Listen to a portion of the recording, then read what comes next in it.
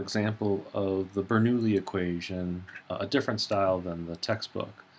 So the way this style is going to work is we're going to set it up as y prime equals some function of x times y plus some function of x times y raised to some power.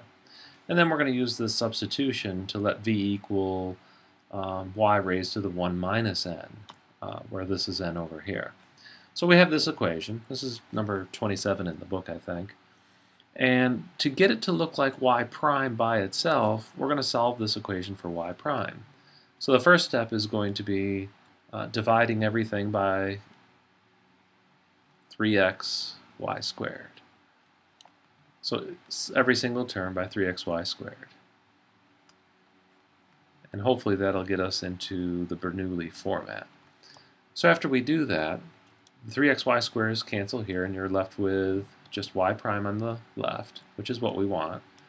And this is going to equal, the 3's are going to cancel, x to the fourth over x is x to the third, and then y to the second, I'm going to write it as y to the negative second. Plus, and here the y cubed divided by y squared is going to leave you with a y, and I'm going to write it as a separate entity. So this is going to be 1 over 3x times y. So that it looks like um, this up here. Now, p of x and q of x in this are backwards. Um, this is actually the p of x, 1 over 3x, because it's next to the y that is to a single power. And this is q of x because it's next to y that has a uh, power other than 1. All right, and Bernoulli's method is divide everything by the highest or different power of y. So in this case, we don't want to touch the single factor of y, we want to touch this y squared. So I'm going to divide the entire equation by y to the negative 2, which is the same thing as multiplying by y squared. So I'm going to multiply this side by y squared, and I'm going to multiply this side by y squared. So that'll get me into the Bernoulli format. y squared, y prime is equal to x cubed uh, plus, what's this going to be, 1 over 3x times y cubed. Okay. Now this is where we're going to use the substitution. The substitution of v equals y raised to the 1 minus n. n in this case is uh, negative 2. This is what n is. It's that other power of y. So if we do that, we're going to get v equals y raised to the 1 minus a negative 2, better known as y cubed. And with that substitution, you'll notice that right here is a y cubed, so this immediately is going to get changed into v. The problem is that we also need v prime. So we have v is equal to y cubed. If we take the derivative of both sides, we have to do it implicitly because y is a function of x. We're going to get the derivative of the outside times the derivative of the inside, which will become y prime, or dy dx if you want to think of it that way. All right, well, we have a y prime, that's over here, and next to it is y squared, which is good because that's what v prime has in it. The only thing that's missing is this 3. So one way to deal with it is to take this equation and divide both sides by 3. So I can do a substitution where v prime over 3 replaces y squared times y prime. So this y squared y prime, we're going to change it into v prime over 3. And this y cubed over here, we're going to change it into just plain old v. All right, so we're going to need a new page uh, here. Do a little substitution, and this is going to be v prime over 3 replaces y squared y prime is equal to x cubed, 1 over 3x stays, and y cubed is turning into v. Now, once we do the substitution, it should turn into a um, uh, linear, what is it called, uh, integrating factor type problem, first order linear.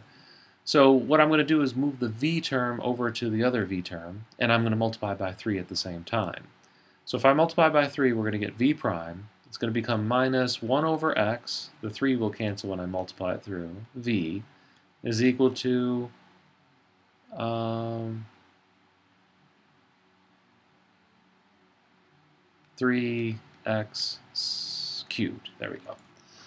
All right, now we need our integrating factor. So to get the integrating factor, we're going to go off to the side and do e uh, integral of px. px in this case, little p, is going to be negative 1 over x, uh, that piece right here. So we're going to get negative 1 over x dx. Okay, uh, pull the negative out. The antiderivative 1 over x is ln of x, so you're going to get e to the negative ln of x, which is the same thing as e to the ln of x to the negative 1. And inverse functions will eh, cancel, if you want to say it that way.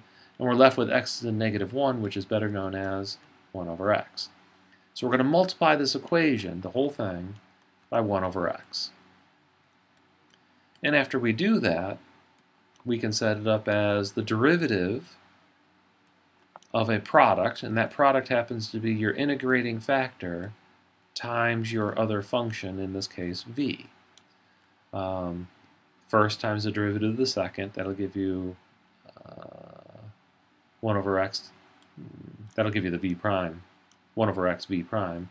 And then second times the derivative of the first will give you the uh, negative 1 over x squared. So that was just the product rule, and that's the whole point of the integrating factor, is equal to, and then over here we're just going to get 3x squared. And then we can integrate both sides. And what that allows us to do is to get rid of the ddx, um, first fundamental theorem of calculus, all that fun stuff. And we get 1 over x times v is equal to uh, antiderivative of this side, so we're going to raise that to 3, divide by 3, and we're going to just get plain old x uh, cubed, plus some constant of integration. Okay. Now, um, next step, I would multiply both sides by x. So if we bring it up over here, we're going to get v equals uh, x to the fourth. Don't forget to multiply the constant by x. And then we're going to do our substitution back because I'm not trying to solve for v, I was really trying to solve for y. So the substitution was v equals y cubed, so this becomes y cubed equals this. And then finally cube root both sides.